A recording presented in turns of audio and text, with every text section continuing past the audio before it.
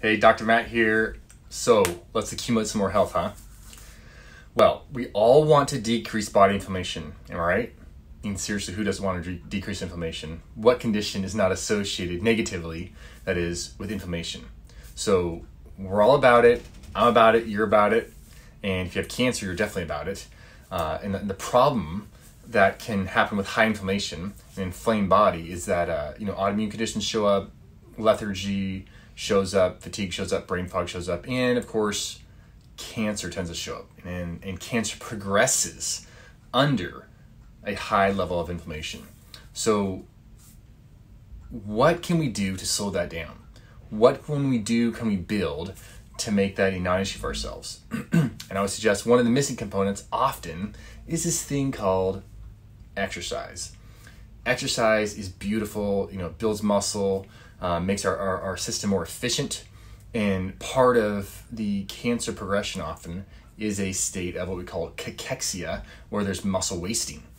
And you know, this is for everybody. We all need to be thinking about this because most of us are, you know, sarcopenia or cachexia. Sarcopenia is basically loss of muscle over time with with aging process and like fat coming in and filling up the muscle tissue. Not a good thing. Cachexia is where you have a, a disease condition that's essentially causing muscle wasting, such as cancer. And you know, the, the more cachexia you have, the more muscle wasting you have, um, the worse your prognosis, the worse, worse your, your life quality is going to be uh, if you have cancer. And so let's do everything we can to utilize all the tools, resources we can to make that a non-issue, right? I, you know, I've seen many, many, many a patient who, uh, you know, they're they've been diagnosed with cancer, um, or they've been they're now in remission of cancer, and yet they're living sedentary life you know, they're watching TV, hit Netflix. You know, it's like the trauma of that word cancer has, kind of paralyzed them, put them into a, a depressed, anxious, um, you know, unmotivated state. And so they're not getting physical activity. You know, they're leaving this beautiful, powerful entity called exercise, strength training, uh, muscle adaptation. They're leaving it on the table. And that resource, there's nothing that works like that resource. So, you know, even if you have the, the to- even the toxic effects of cancer drugs can be mitigated, can be greatly decreased by exercise, by making these, these muscle tissues more and more metabolically active, more and more efficient at their job of um, essentially creating energy and moving our body around. So, um, you know, many of these, these medications are they're toxic, they, they cause exhaustion, uh, you know, nausea, and and I totally get it. I mean, who wants to start exercise program? Who wants to go go walking, go exert themselves when they feel nauseated and you know like they're just in a toxic state and exhausted? Totally understandable. But I would say, if you have any capacity at all to increase your daily movement while in the cancer battle, you must take that opportunity.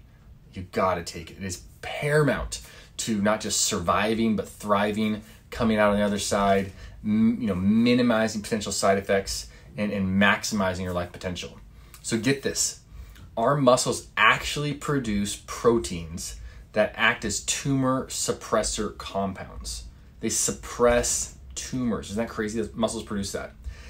In fact, I just read a study looking at men with prostate cancer that showed that after 12 weeks of exercise training beyond what their normal routine was, that the growth of uh, the cancer, the tumor, the prostate cancer they had was decreased, reduced uh, by 22%.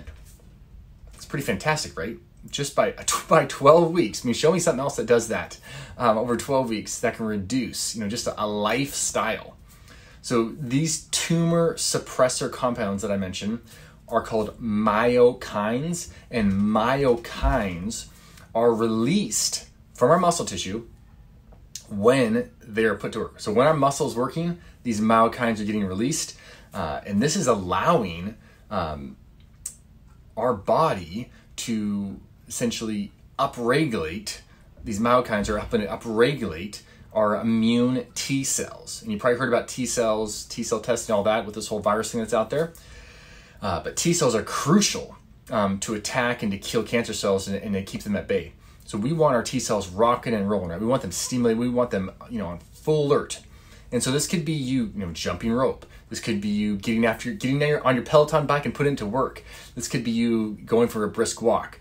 Could be you, uh, you know, getting your HIIT routine going, or performing a set a set of dumbbell curls to failure, getting that bicep rocking. You know, really the best biceps around. It could be you training for CrossFit Games. You know, no matter the thing is, what I'm saying is, no matter what level you're at, all it matters is that you're doing more than you were doing before. You're forcing growth, repair, adaptation of your tissues. And this will do a world of good, especially in relation to making more challenging things like cancers uh, to grow. Like it's going to make it more challenging for the cancer to do what it wants to do if you are consistently have an exercise routine going for yourself. That is forcing your body to adapt, forcing your body to grow and repair itself. So if you have cancer, you know, bed rest, it's not your friend. It is not your friend. Exercise and forcing muscle adaptation is a key weapon in what we call your health accumulation arsenal. So we got to have exercise on board.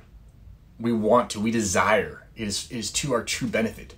And you know, if you want to check out the full paper, you can look at uh, the September 2021 edition of the Journal of Medicine and Science in Sports and Exercise. The Journal of Medicine and Science in Sports and Exercise, September 2021.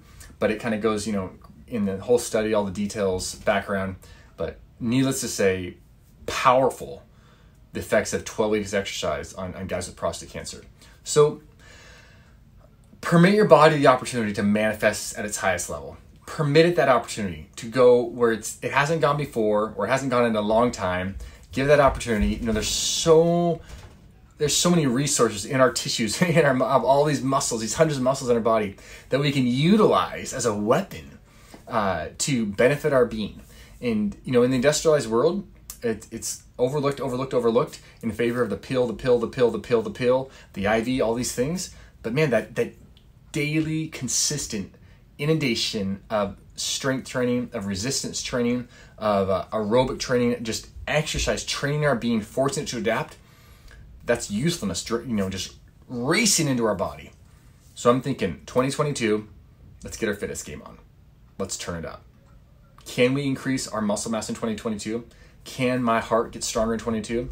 Can my, my, my nerve response to my muscle tissues get stronger? Can I get better balance in 2022?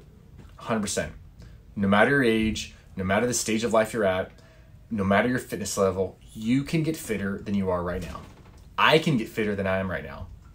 And I dare you to go for it. I'm going to go for it. All right, Dr. Matt, please share this, like this, subscribe to this, because by doing so, we were helping push out the health accumulation mindset way of doing things. And the thing is, the more of us that accumulate health on a regular basis, the better life is for all of us.